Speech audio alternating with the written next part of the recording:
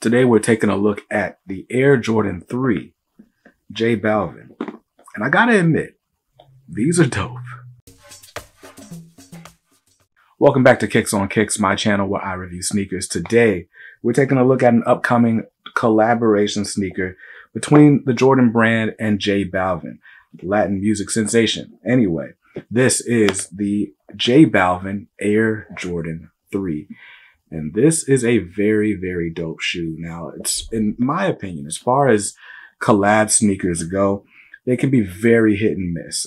I was not a fan of the J Balvin ones, and I wasn't a fan of the J Balvin twos. They just seemed flashy for like no reason. The J Balvin twos literally had a flashing light on them. But uh, these Jordan threes, the J Balvin Jordan threes, these are dope, and they're a great application of the theme. And uh, we're gonna talk about it. So we'll take a look at the shoe from the bottom up. We'll take a look at the packaging. I'll talk about some legit checking indicators, but you kind of never know with these early pairs. We'll talk about it all. Let's go ahead and get started from the bottom up. We're looking at an Air Jordan 3 outsole, and I, you might not even be able to tell the details on it because you got a milky translucent outsole. It's like a clear sole on a Jordan 3, and that is something that you don't see every day. I feel like there was a was there a pure money Jordan 3 with an icy blue sole? That might be the last time I saw like a even remotely clear sole on a Jordan 3, with the exception of the sport blue Jordan 3s, which had like a translucent blue sole. So that's already really cool. You already get props for just being different with that outsole. So that's that part. And uh, while I'm over here, and real quick, while I'm looking at the outsole, I just want to make sure, I want to check and see like if this does any kind of glowing or anything. And I believe it does not. Looks cool under a black light though. So anyway, there's that. That's a translucent sole. Cool stuff. Now let's move on to the midsole where honestly, I think that's kind of the star of this show outside of just the quality on the uppers. But your midsole We'll start at the front. We got like this sort of aged cream color here. I'll turn this light down a little bit so you can see that vintage uh, aged midsole there.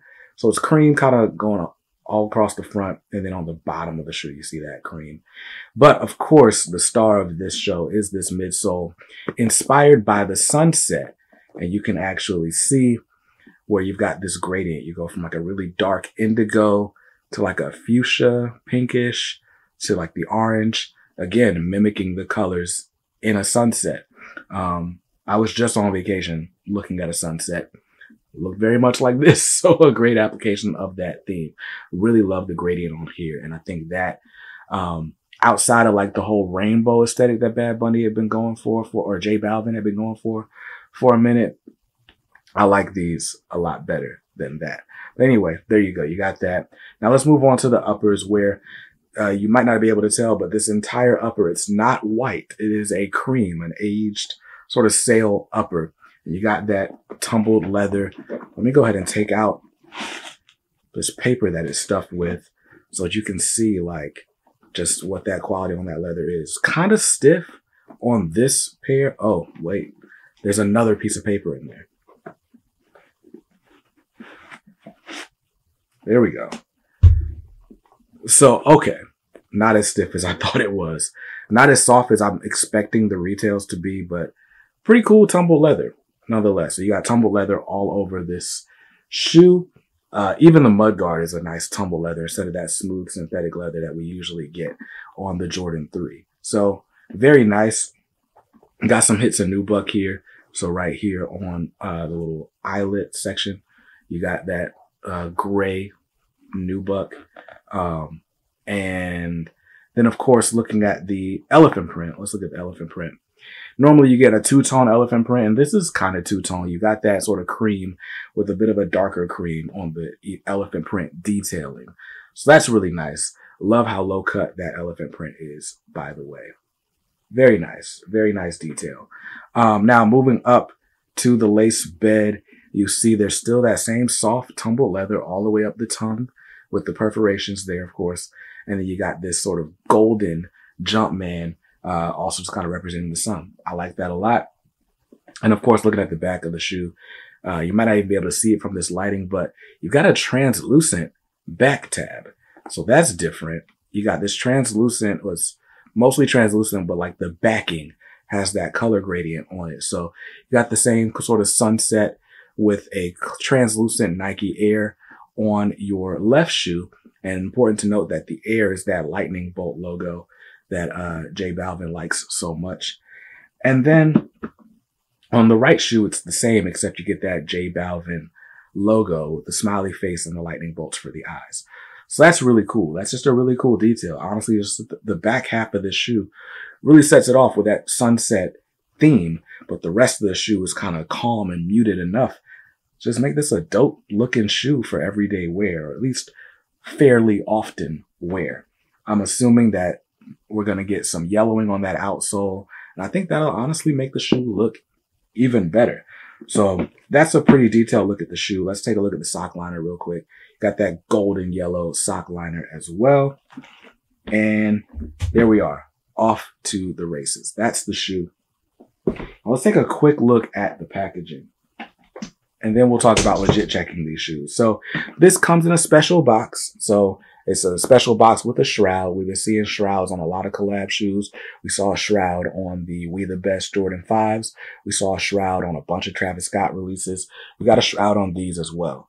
So this shroud kind of gives like this sort of, all this like contrast, like a little mountainy range with the sort of sun rays. We see that. But let's take this black shroud off the box and see what comes in it.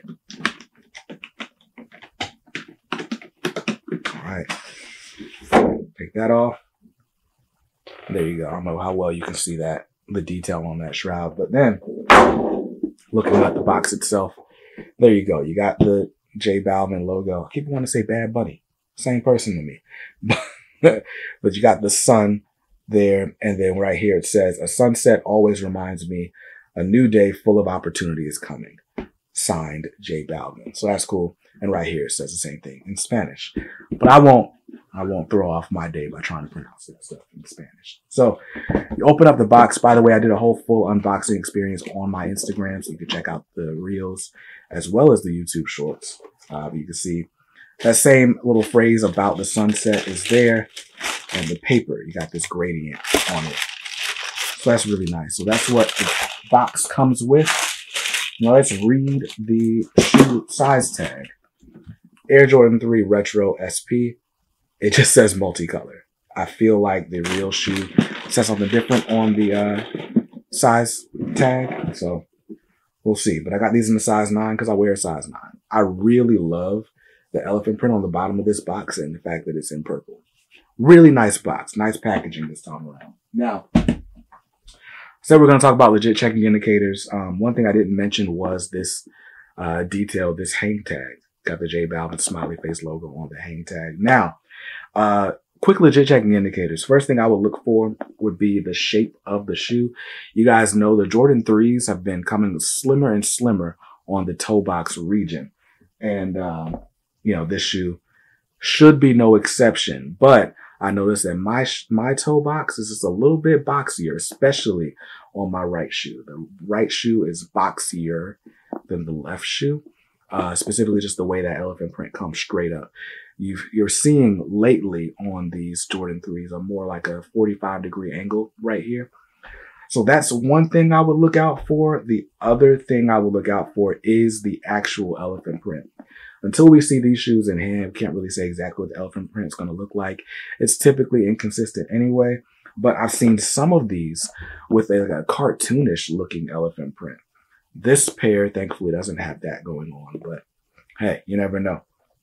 Other than that, we're going to be looking at the side by side view, looking at these right next to an authentic shoe to get a good sense for the size, the scaling of the shoe, um, how big the shoe is in different sizes and so on, as well as any differences in the color matching on this paint. That's something I think is going to be a pretty, uh, common tell as the shoes make their way into the open market. Um, Real quick, is there anything special going on on the insoles? Actually, yes, we've got like a sort of sunset graphic on the insole. So that's very cool. This is like that Dream Cell insole. They've been getting putting all the Jumpman or all the Jordan releases here lately. You got that on the replicas as well. So be careful out there. Um, other than that, I feel like the other tell might be the placement on this smiley face, just based on where the shroud is. I feel like either the smiley face should be moved down some, or the shroud needs to, the print should be moved up a little bit to really make that sunset effect. Other than that, really, I don't really have anything to say about these shoes and legit checking other than, hey man, it's a collab shoe. This is going to be super hype, super limited. Um, once those resale prices start going crazy, I'd probably just stay away from this shoe. Just to be honest, you know, unless you don't mind, you know, getting stuff on the underground, as they call it. Uh, I didn't even mention that these laces, we got like a set of cream colored laces. These are not wax laces. And I don't know if the re, the authentic shoe is going to have wax laces or not, but these are not. And by the way, these laces are like super long. Like that's, why are these laces so long? That's probably another sign on these shoes. Like look, when you tie these, these are to like just flop all over the place. So yeah, man, I don't know about that, but all in all, a dope shoe. Like I said, collab sneakers for me tend to be hit or miss. Um, the Teyana Taylor just had too much going on. The, I liked the DJ Khaled Keep Going uh, Jordan 5s. And I like these J Balvin Jordan 3s. I think those are two examples of collab sneakers done really well with nice quality and all that. So all in all, I think this is going to be a dope shoe, but I don't know, you know, how much people are going to wear. These look dope. Honestly, I'd wear these. But yeah, I think this is a dope shoe. I'd wear them. Let me know what you think about them in the comments down below. And check out my Instagram if you want more shots. I'll start doing on feet and stuff like that on Instagram. So follow me there. I'll see you guys in another review real soon. Again, big shout out to the homies that sent these over, and I'll talk to you guys later. Peace.